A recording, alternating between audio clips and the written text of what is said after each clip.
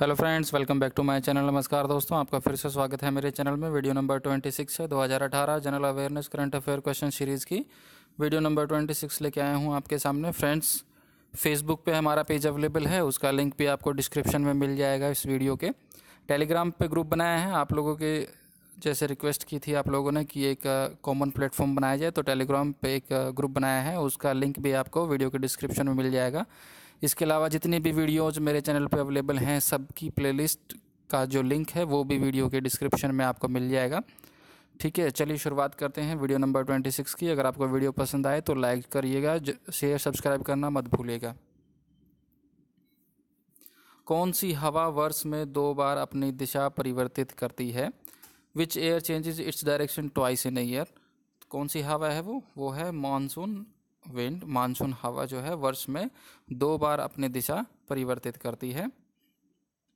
एशियाई खेलों में 400 मीटर की दौड़ में स्वर्ण पदक जीतने वाली पहली भारतीय महिला कौन है? Who is the first Indian women to win gold medal in Asian field 400 metre race तो कौन है वो?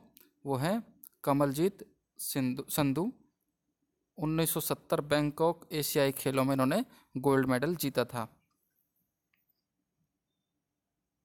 अंटार्कटिका जाने वाले प्रथम भारतीय दल के प्रभारी कौन थे?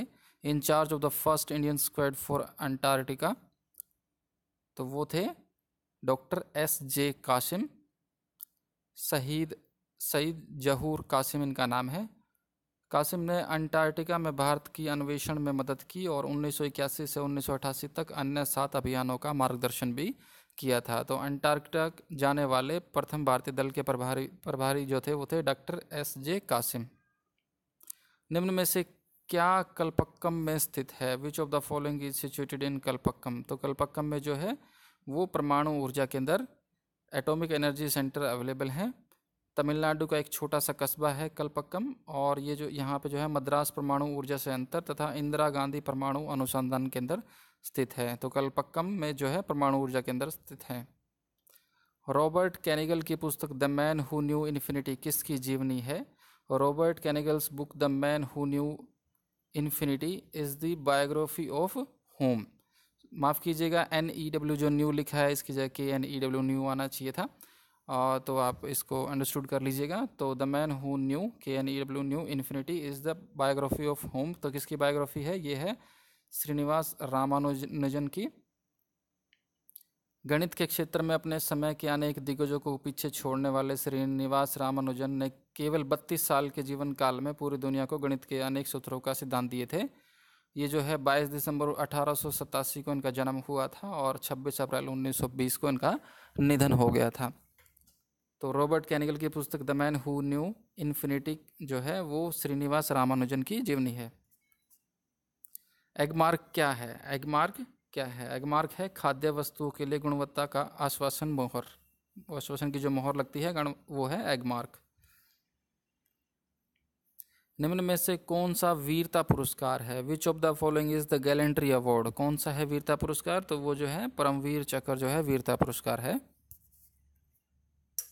शांति स्वरूप भटनागर पुरस्कार निम्नलिखित में से किन कार्य हेतु प्रदान किया जाता है? Shanti Swarup Bhatnagar award is given for the purpose of following किसके लिए दिया जाता है? ये दिया जाता है विज्ञान के विभिन्न शाखाओं में उल्लेखनीय योगदान हेतु।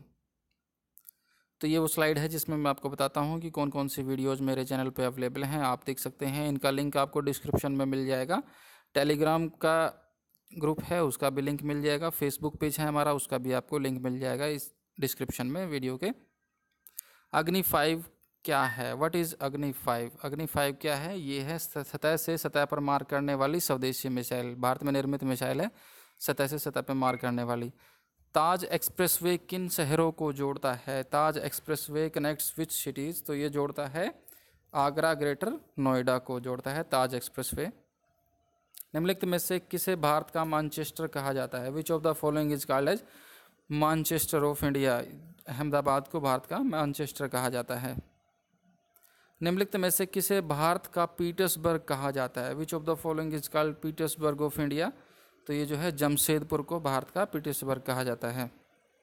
निम्नलिखित में कौन सा दर्रा पश्चिम घाट पर्वतमाला में स्थित नहीं है? Which of the following is not located in the Western Ghats ranges तो ये है पीपली घाट जो कि पश्चिम घाट पर्वतमाला में स्थित नहीं है। ये जो है अरावली पर्वतमाला में स्थित है। निम्नलिखित में से कौन सा दर्रा हिमाचल प्रदेश में स्थित नहीं है? Which of the following is not located in Himachal Pradesh Jelep La दर्रा जो है, वो हिमाचल में स्थित नहीं है। ये जो है, जलेपला हिमालय के एक पहाड़ी दर्रा है, जो भारत के सिक्किम राज्य को दक्षिण तिब्बत में चुंबी घाटी से जोड़ता है। तो ये जो है, सिक्किम में स्थित है। किस पर्वतीय दर्रे से होकर भारतीय तीर्थयात्री मानसरोवर झील तथा कैलाश पर्वतीय घाटी के दर्शन हेतु जाते हैं by which mountain pass the Indian pilgrims go to Mansarovar lake and Kailash mountains valley तो ये जाते हैं माना दर्रा। ये जो है, इसे मानाला दर्रा को मानाला चिरबतिया चिरबतिया ला अथवा डूंगरी ला के नाम से भी जाना जाता है इस दर्रे को, माना दर्रा को। ठीक है फ्रेंड्स तो एक साइड था। अगर आपको वीडियो पसंद आई हो तो लाइक ज़रूर करिए शेयर सब्सक्राइब करना मत भूलिएगा। Thanks for watching have a nice time बने रहिए मेरे साथ।